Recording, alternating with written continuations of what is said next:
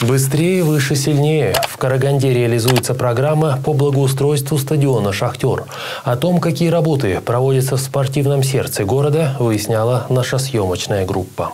Торжественное открытие новых площадок для занятия спортом состоялось на территории стадиона «Шахтер». Данное мероприятие проходит в рамках программы по благоустройству стадиона на 2023-2025 год. Открытие состоялось на День Республики. Здесь у нас открываются новые спортивные площадки. Это волейбольные, баскетбольные площадки, в том числе и площадки стрит-воркаут, которые на сегодняшний день востребованы среди молодежи.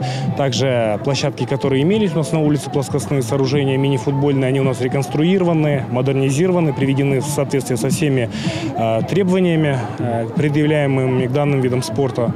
Э, помимо этого, сегодня в честь праздника Дня Республики будет проведен турнир по Тогус Кумалах среди детей дворовых клубов города Караганды. На торжественное открытие были приглашены спортсмены из города Кукчетау с показательным выступлением по стрит-воркаут. Несмотря на сложные погодные условия, у ребят получилось порадовать публику зрелищным выступлением.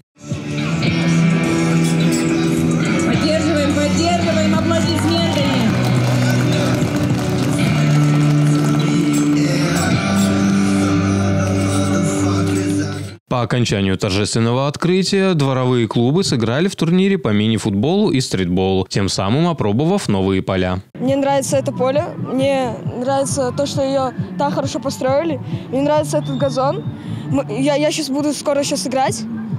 Надеюсь, что мы сейчас выиграем все команды. Я так думаю, то, что это поле поможет всем окружающим. То, что дети начнут как там заниматься больше спортом, будут, будут более как там спортивней. Помимо турниров на улице, в спорткомплексе «Жастар» прошли соревнования по Тогоскомалак, где одновременно сражались за звание лучшего более 30 детей. Максим Трезуб, Миржан Жамумуратов, Николай Шевелев, Пятый канал.